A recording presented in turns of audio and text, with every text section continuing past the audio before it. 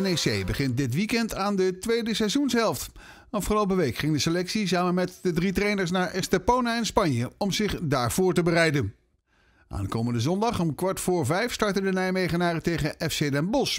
Op papier een te kloppen tegenstander. We hebben hard getraind, veel getraind. Uh, onder goede omstandigheden, dus wat dat betreft een goed, uh, goed trainingskamp. Uiteindelijk was die rel relatief kort. Uh, maar goed, uiteindelijk prima, prima kunnen werken. De eerste wedstrijd speelde je met een, een, team dat leek op de basis van de afgelopen weken. Um, dus we hoeven geen enorme spectaculaire wijzigingen te verwachten vrijdag? In principe niet. Nee, daar gaan we niet vanuit. Nou, ik had al gehoord dat Fleming, die is er niet bij um, morgen ja, lijkt me weinig opties voor, voor wijzigingen. van Van Looy is denk ik de enige optie, of Proper, maar dat is misschien iets te vroeg voor, voor hem als hij ook nog tentamen heeft gespeeld gisteren, tentamen heeft gemaakt vandaag. Ja, er zijn een aantal opties. Uh, uiteindelijk kom je natuurlijk bij middenvelders, hè, bij types. Kijk je ook naar binnen die speelwijze die passen. En daar is onder andere Dirk Proper, Tom van der Looy zijn een aantal opties. Uh, en dan zou je nog kunnen kijken of je met mensen kunt schuiven. Dus er zijn een aantal opties en een aantal eh, opties die we ook bekijken.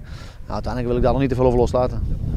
Uh, Wolters ontbreekt nog, ook met de blessure. die zou er denk ik niet bij zijn, net als Overtoom en Applas? Nee. nee, die zijn er nog niet bij. Die treden nu apart gaat wel vooruit. Uh, dus inderdaad, Overtoom, Wolters en Alblas die zijn nog niet klaar om bij de wedstrijdselectie te zitten. En dan uit Den Bosch, ook een team dat wisselvallig eerste seizoenstijd heeft beleefd. wat is er voor een team? Nou ja, als je kijkt naar de wedstrijd die we daar hebben gespeeld, mochten we blij zijn dat we daar een punt uit het vuur hebben gesleept nog. Hadden we ook op een dikke achterstand moeten staan. Moet ik wel zeggen dat we daar wel een van onze slechtste helften hebben gespeeld van de eerste seizoenshelft. De eerste helft was daar echt, echt, echt abominabel slecht.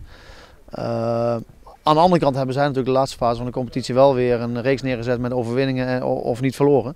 Nou goed, dat hebben wij ook gedaan, de fase daarvoor. Dus aan ons om, uh, om te kijken dat we, dat we ons als team ook ontwikkeld hebben en beter voor de dag te komen dan daar. Nou uiteindelijk zijn we nu wel een heel stuk verder uh, en, en, zijn wij beter geworden, zijn wat volwassener geworden. Wij spelen thuis. Nou ja, ik zei net al, wij hebben ook een keer zo'n serie gehad, wordt een keer doorbroken. Dus wij moeten maar zorgen dat we die serie doorbreken van Den Bosch. Ik ga je niet weer de hele periode vervelen met het feit dat je een derde periode kan winnen. Uh, uh, maar je staat wel nu gedeeld uh, aan, aan, kop, dus dat moet ook meespelen denk ik. Nee. Eén wedstrijd gespeeld.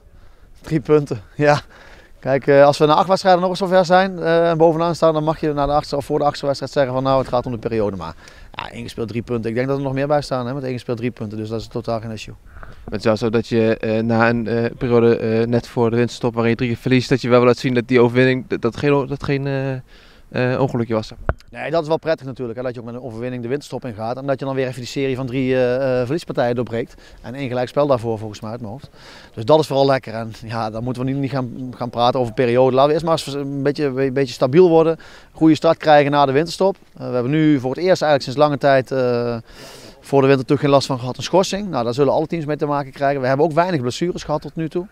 Uh, waarbij andere teams misschien al wat meer blessures hebben gehad. Dus daar krijg je nu ook na de winterstop mee te maken. Dus ook aan ons om, uh, om te kijken aan het team hoe we dat kunnen opvangen. En jongens die er dan eventueel buiten zijn gevallen, ja, die moeten dan hun, hun kans grijpen en, en doen waar ze, waar ze voor staan. En, en, waar ze ook heel belangrijk in zijn. En ja, dat begint bij Den Bos. Aankomende zondag om kwart voor vijf in de eigen Goffert. NEC tegen FC Den Bosch. En voor de thuisblijvers live op rn7.nl.